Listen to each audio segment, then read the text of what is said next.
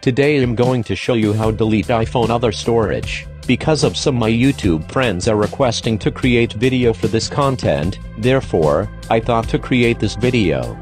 First to all, how to check your iPhone other storage. Go to setting app on your iPhone. Tap general.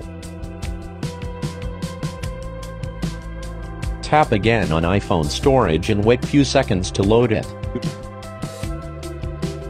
Your iPhone storage categorizes like apps, photos, system, iCloud and other storage. Then, let me explain meaning of other storage on iPhone.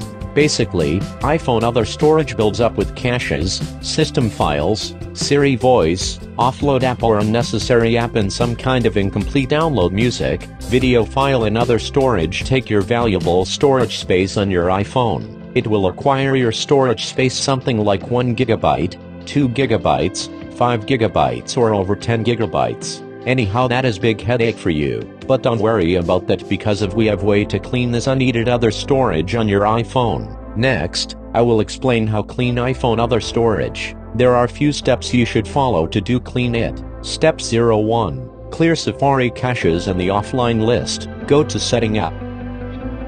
Tap general. Tap iPhone storage.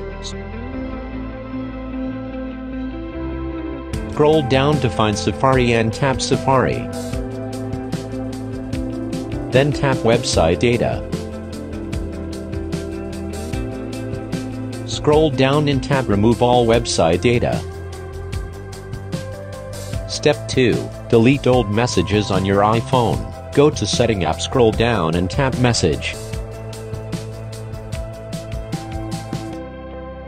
Again, scroll down and keep messages. Choose 30 days or 1 year to reduce space from messages.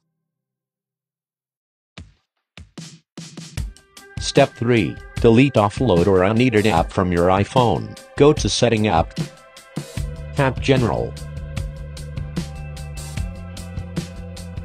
Tap iPhone Storage. Scroll down to find Offload app. Here you can see, this is Offload app. Tap on Offload app. Tap Delete app, and delete it. Do same thing for other offload app if you don't want. Next, select unneeded app and delete app.